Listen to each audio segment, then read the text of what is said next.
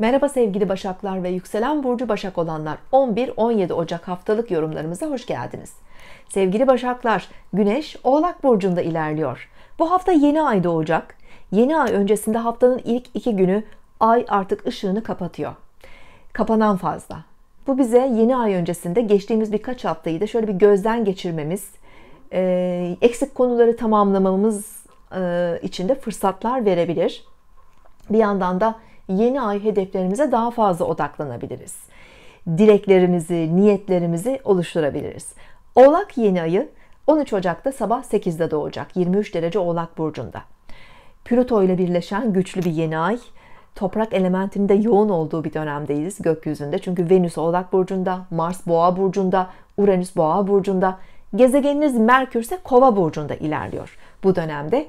Oğlak 5. evinizdir ve 5. ev şanslı evlerden biridir. Bu yeni ay aslında sizi manevi anlamda da destekleyen, geleceğe dair umutlarınızı arttıran, size e, yaratıcılık veren, moralinizi yükselten bir yeni ay.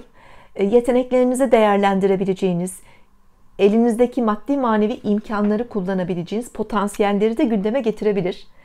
E, romantik konular da e, ilgi çekici. Aşk hayatınızda da gelişimler olabilir tabii ki. Venüs çünkü Oğlak burcunda e, aşk ve romantik konularda bazı yeniliklerin olması veya süre gelen ilişkilerinizin artık daha ciddi, daha farklı bir boyuta taşınması mümkün. Çocuklarla ilgili gelişmeler olabilir.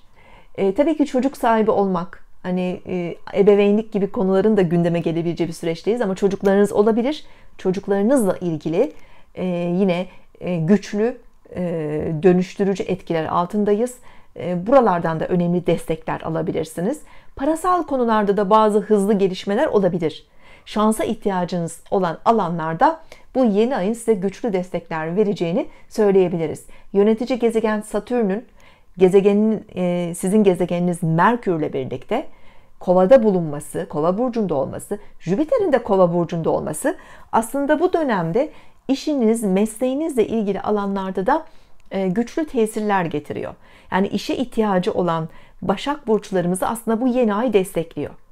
E, var olan bazı becerilerinizi, hobilerinizi değerlendirebileceğiniz iş imkanları olabilir örneğin. Veya çalıştığınız işte e, size yine kendinizi daha iyi gösterip dikkat çekebileceğiniz yeni kapılar açılabilir mesleki anlamda kendinizi geliştirebileceğiniz bazı eğitimler alabilirsiniz.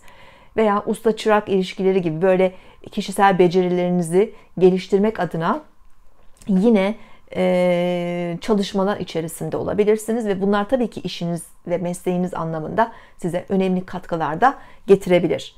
Perşembe ve Cuma bu anlamda ay kovada olacağı için aktifiz. Bu hafta iş tempomuz yoğun görünüyor. Hani ev, ev ortamında bile olsak yine meşguliyetlerimiz ön planda olacak. Hafta sonu Ay Balık burcunda biraz daha duygusallaşmamıza imkan veriyor.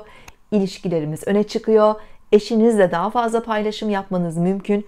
Ee, yakın arkadaşlarla temaslarınız da artabilir tabii ki. Her türlü işbirliğinde aslında hafta sonu daha fazla e, başarı göstermeniz ve kendinizi de e, mutlu hissetmeniz mümkün. Sağlıklı ve mutlu bir hafta diliyorum. Hoşçakalın.